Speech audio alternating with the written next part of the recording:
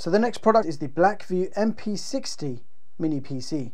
In the box you get your user manual, HDMI cable, you get a mounting bracket with some screws so you can mount it to the back of your monitor. Now we have a 12 volt power supply and the mini PC itself.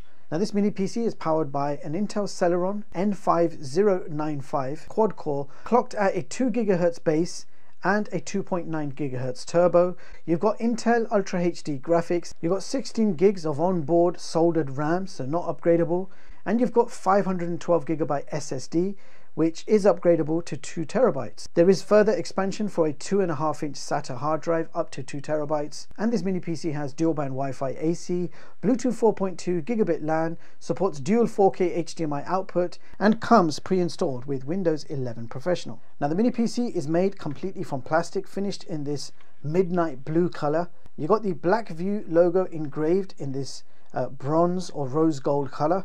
Intel stickers. Now nothing on the front of the mini PC, on the side we have a physical power button, two USB 3s and one USB 2 port.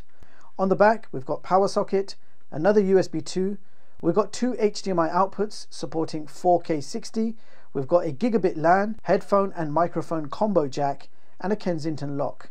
If we keep going, nothing on this side and that brings us back to the front and this is what the bottom of the PC looks like. Now I just want to quickly show you some upgrade options that you have with this mini PC. If I remove the bottom two screws, you will be able to add your own two and a half inch SATA hard drive up to two terabytes. Furthermore, there are other upgrade options. Now, if you unlock the top and bottom switch, you'll be able to pull this mini PC apart like so. And then you have to remove the four sticky feet behind which you will find four screws. So let's get all four screws open quickly. Okay, and now we're going to carefully lift off the top lid. Be careful because there is a cable attached to the board and that is for the LED lights which I'll show you a little bit later. So you can now see your upgrade options. We simply have a 512 gigabyte SSD which you can swap out for a 2 terabyte but if you do do that you have to install your operating system yourself. Over here we have a fan right on top of the processor. Now the RAM appears to be fixed and soldered onto the board so RAM is not upgradable. Three screws so we can so we can have a quick look under the heatsink fan.